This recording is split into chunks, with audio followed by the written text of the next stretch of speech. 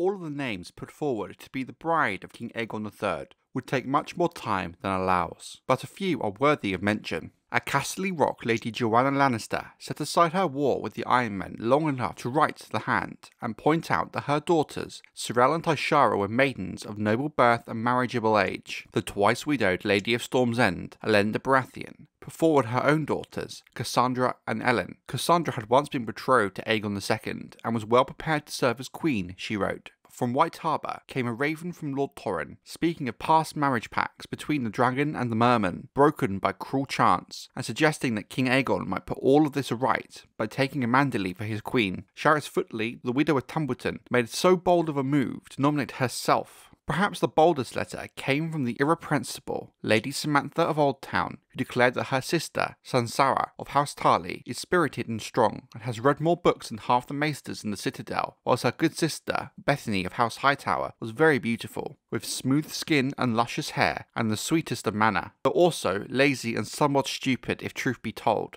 though some men seem to like that in a wife. She concluded by suggesting that perhaps the king should marry both of them, one to rule beside him as Queen Alysanne King Jaehaerys, and one to bed and breed, and in the event that both of them were found wanting, for whatever obscure reason, Lady Sam helpfully attached the names of 31 other noble maidens from House Hightower, Redwine, Tarly, Ambrose, Florence, Cobb, Costayne, Beesbury, and Vynar who might be suitable queens. Mushroom adds that her ladyship ended with a cheeky postscript that said, I know some pretty boys as well, should his grace be so inclined, but I fear they could not give him heirs. But none of the other chronicles mention this affront, and her ladyship's letters have been lost in the face of so much focus on the matter, Lord Unwin was forced to think again, though he remained determined to wed his own daughter to Myrielle to the king. He had to do so in a way that would not provoke the lords whose support he needed. Bowing to the inevitable, he mounted the Iron Throne and said, For the good of his people, his grace must take another wife though no woman will ever place our beloved Jaehaera in his heart. Many have been put forward for this honour, the fairest flowers in the realm. Whichever girl King Aegon weds shall be the Alysanne to his Jaehaerys, the Jonquil to his Florian. She will sleep by his side, birth his children, share his labours, soothe his brow when he is sick, grow old with him. It is only fitting, therefore, that we allow the king himself to make this choice. On Maiden's Day we shall have a ball,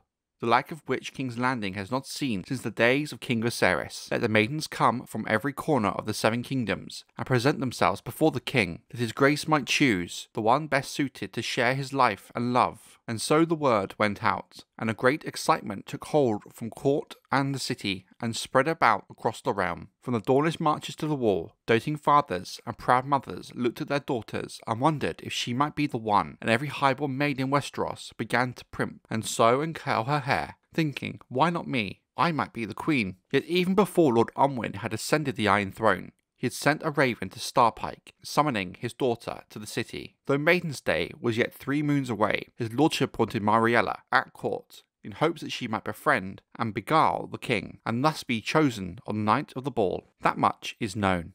What follows now is mere rumour, for it was said that even as he awaited the arrival of his own daughter, Unwin Peake also set in motion many secret plots and plans designed to undermine, defame, distract, and besmirch those damsels he deemed his daughter's most likely rivals. The suggestion that Cassandra Baratheon had pushed the little queen to her death was heard again and again, and the misdeeds of certain other young maidens, real or imagined, became common gossip about court. Jezebel Staunton's fondness for wine was bruited about. The tale of Eleanor Massey's deflowering was told and retold. Rosamond Darry was said to be concealing six nipples under her bodice, supposedly because her mother had lain with a dog. Lyra Hayford was accused of having smothered an infant brother in a fit of jealousy, and it was put about that the three Janes, Jane Smallwood, Mouton, and Merryweather like to dress in squires' garbs and visit brothels to kiss and fondle the women there, as if the three of them were boys. All this reached the king's ears, some from Mushroom's own lips, for the fool confessed to having been paid handsomely to poison Aegon III against these maids and others. The dwarf was much in his grace's company, following the death of Queen Jaehaera, though his japes could not dispel the king's gloom.